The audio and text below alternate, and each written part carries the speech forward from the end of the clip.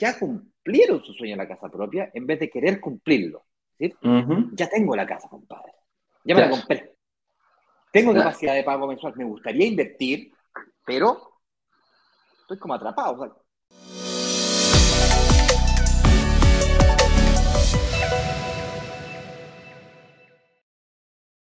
Es como que uno se, como, que uno se, se, dice, no, pues yo ya compré mi casa propia y yo ya no puedo invertir porque principalmente tengo una deuda larga, a 30 años, quizás en qué etapa esté, en la etapa 1, 2, 3 o 5, 10 años, eh, pero como que uno se desmarca. Dice, yo no, no, el banco no me va a prestar una segunda hipoteca, porque también pensamos siempre solamente en el banco. Cuando buscamos refinanciar, cuando buscamos financiamiento, lo primero que uno hace es ah, voy a llamar a mi ejecutivo a ver si me presta.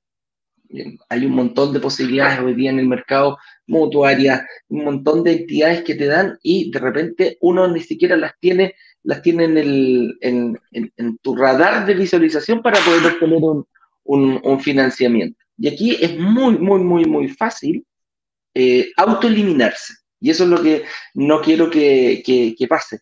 Aquí es muy fácil decir, no, yo ya tengo mi casita, no me van a prestar un segundo, ¿a qué me voy a meter en este tema? ¿Para qué voy a pensar siquiera en invertir en departamento? Entonces, ese es como, ese es como el objetivo principal de esta pregunta, que la respuesta es no, o sea, si ya compré mi casa propia, ¿ya no puedo invertir en departamento? No, no, amigo mío.